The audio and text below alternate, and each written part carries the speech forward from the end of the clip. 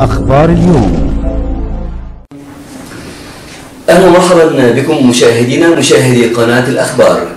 نشرة إخبارية مفصلة يقرأها عليكم محمد عوض. أبدأها بالعناوين. تأجيل محاكمة العدل و11 آخرين ل 28 إبريل ومنعهم من التصرف في أموالهم. تفكيك قنبلة هيكلية بمحيط نادي 6 أكتوبر.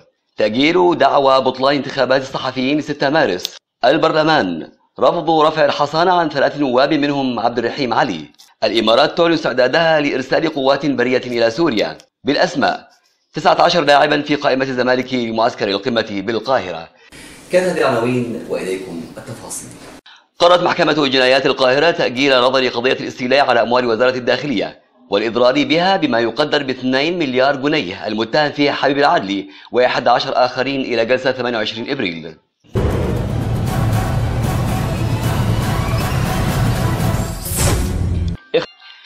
نجح خبراء المفرقعات بالحماية المدنية بالجيزة في تفكيك عبوة هيكلية أمام نادي 6 أكتوبر وتم تمشيط محيط النادي خوفا من وجود أي عبوات أخرى.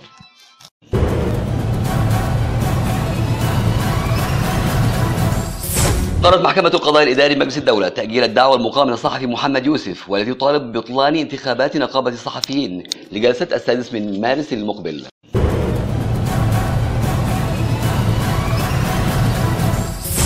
قرر مجلس النواب اليوم الأحد رفض رفع الحصانة البرلمانية عن النائب عبد الرحيم علي محمد بأغلبية 385 نائبا مقابل 16 نائبا. خلال الجلسة المعقدة اليوم الأحد كما قرر الموافقة على قرار هيئة المكتب برفض رفع الحصانة البرلمانية عن النائب محمد بدوي محمد دسوقي بأغلبية 417 نائبا. كذلك النائب حسين محمد عيسى بأغلبية 408 نائبا.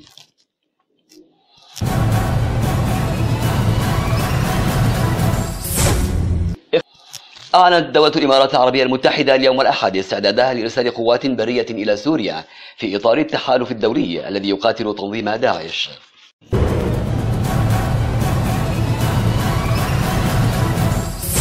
استقر الجهاز الفني للزمالك على 19 لاعبا للدخول في معسكر مغلق بالقاهرة استعدادا للقاء الأهلي الثلاثاء في قمة الدوري الكروي.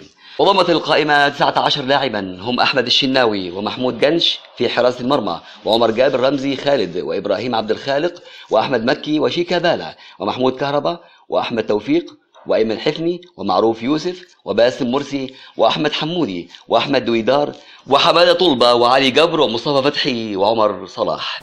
بهذا الخبر نكون قد وصلنا معكم مشاهدينا مشاهدي قناة الأخبار لنهاية نشرتنا الإخبارية.